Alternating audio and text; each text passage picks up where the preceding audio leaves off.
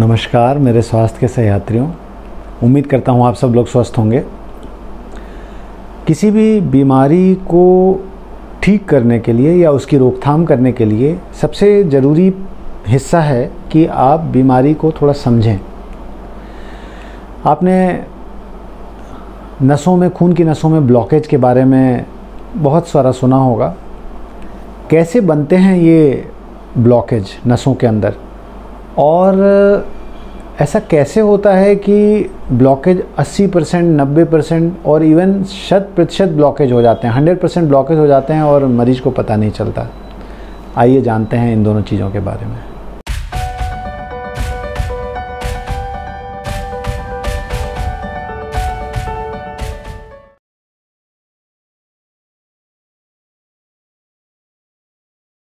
हमारे शरीर में खून की नसों का एक पूरा जाल है।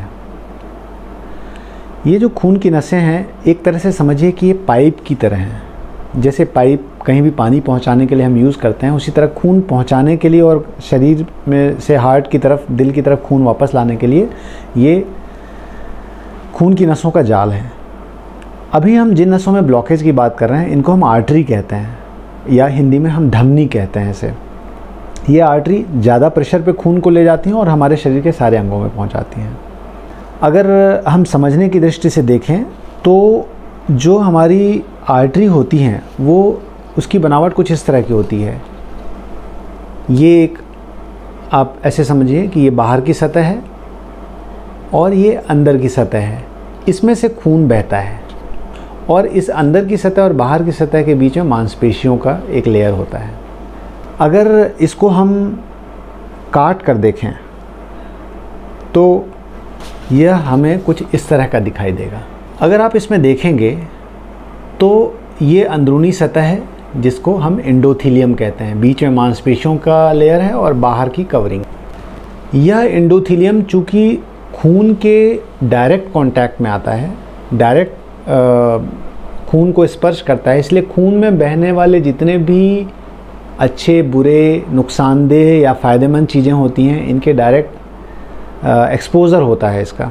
और इस कारण से यह इंडोथीलियम जो है, ये अंदरूनी लेयर जो है, ये जो मैंने आपको बताई थी कि ये जो अंदरूनी लेयर है जिसमें खून बहता है, इसका स्वास्थ्य कितना अच्छा है, यही हमारे नसों में ब्लॉकेज बनने या ना बनने की स्थिति को तय करता है।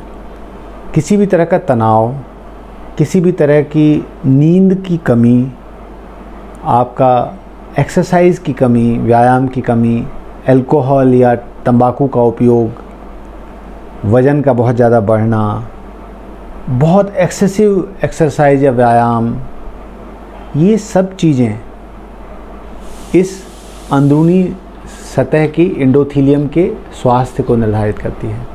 आपको ये जान के आश्चर्य होगा कि हमारी, जिस तरह हमारी बाहर की चमड़ी है, इसका टोटल एरिया जो है हमारे एक वयस्क के शरीर का केवल दो स्क्वायर मीटर होता है।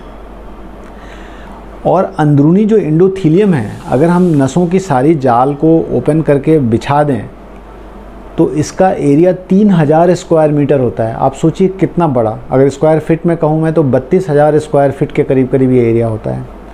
और इन सब का स्वास्थ्य जो है अंदर बहने वाले खून के अंदर की तत्वों पर निर्भर करता है कि वो कितना स्वस्थ तत्व घूम रहे हैं अंदर या कितने नुकसानदेह चीज़ें घूम रही हैं। जब इंडोथीलियम का स्वास्थ्य खराब होता है तो हम इसे इंडोथीलियल डिस्फंक्शन कहते हैं। और इस स्वास्थ्य खराब होने से क्या होता है? इस स्वास्थ्य खराब होने से अंदर जो इसकी जो नुकसानदेह चीज़ों को बाहर निकलने से रोकने की क्षमता है, वो कम हो जाती है। तो जो कोलेस्ट्रॉल, जो चर्बी हमारे खून में बह रही होती है, वो इसमें से लीक होके यहाँ इकट्ठे होने लगती हैं, जहाँ मांसपेशियों की जगह है। और ये शुरुआत में थोड़ा थोड़ा थोड़ा थोड़ा थोड़ा थोड़ा इकट्ठा होती है। ये एक बहुत ही स्लो प्रक्रिया है। इसमें महीनों, सालों लगते हैं।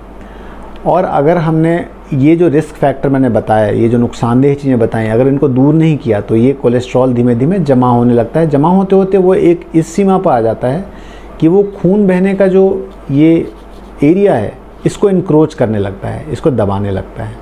आप देख रहे हैं?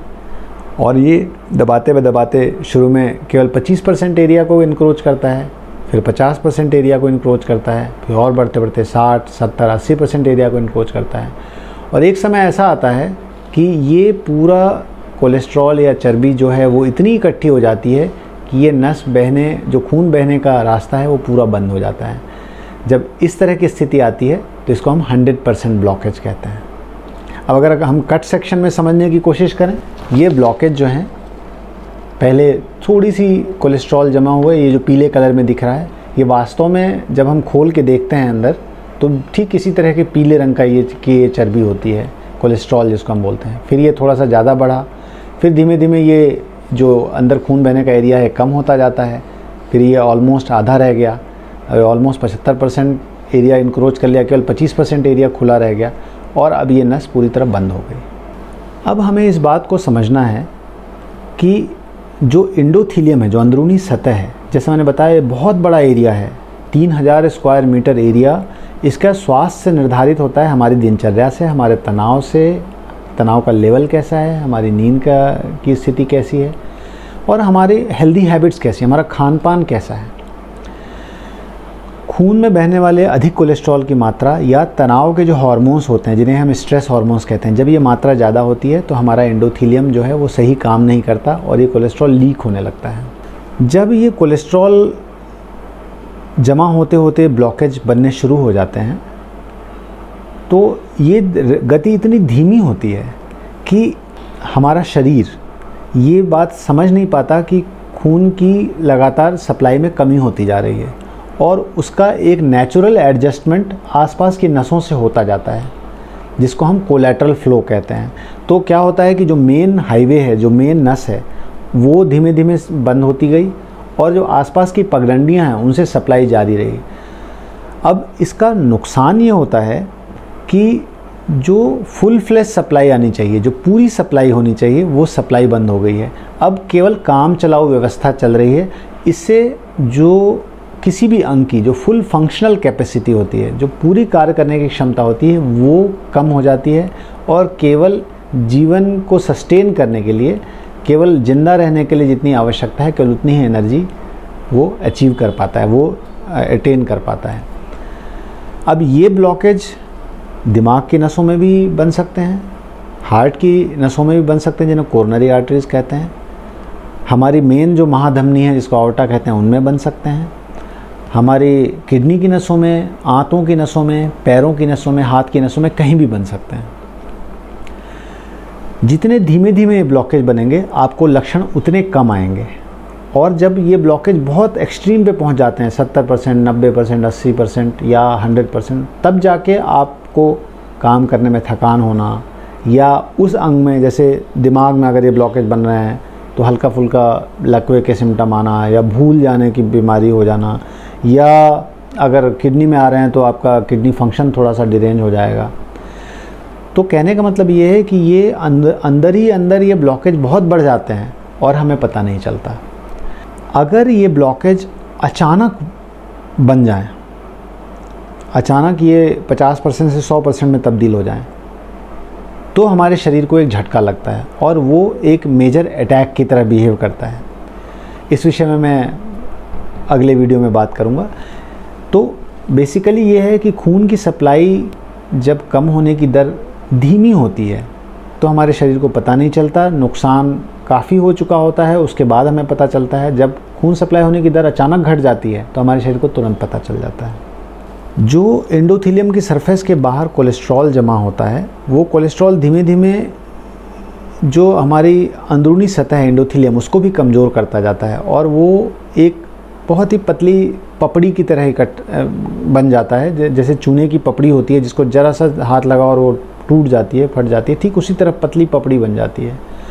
और फिर, जैसे आपको 70 परसेंट ब्लॉकेज हैं 80 परसेंट ब्लॉकेज हैं और अचानक कभी किसी कारण से बीपी बढ़ा, किसी कारण से कोई स्ट्रेस हुआ, और वो पपड़ी बीपी बढ़ने की वजह से अचानक खून का फ्लो बढ़ा और वो पपड़ी टूट गई, और उसमें से अंदर जो भी कोलेस्ट्रॉल है, वो बाहर आ गया। और आपकी नस जो 70 परसेंट ब्लॉक थी 75 परसेंट ब्लॉक थी, वो अचानक बंद हो गई और आपको अटैक आ जाता है। जो बहुत यंग, फिट लोग हैं, उनमें भी कभी कभी मेजर हार्ट अटैक आ जाता है और उनकी जान तक चली जाती है। अभी रिसेंटली हमने बहुत सारे बड़े सेलिब्रिटीज़ की डेथ की मृत्यु के बारे में, समाचार में अवगत हुए होंगे आप लोग। ऐसा क्यों होता है? और हार्ट अटैक या लकवे का अटैक इस कोलेस्ट्रॉल के डिपोजिशन से कैसे हो जाता है, ये हम अगले वीडियो में जानेंगे। आज के वीडियो में हमने ये जाना कि ब्लॉकेज किस तरह बनते हैं और इनमें, इनके बनने की दर जो है, वो कैसे डिसाइड करती है कि सिम्टम्स हमें, जो लक्षण हैं, वो कितनी जल्दी आएँगे या कितनी देर से आएँगे। फिर मिलेंगे किसी नई स्वास्थ्य यात्रा पर, तब तक के लिए नमस्कार।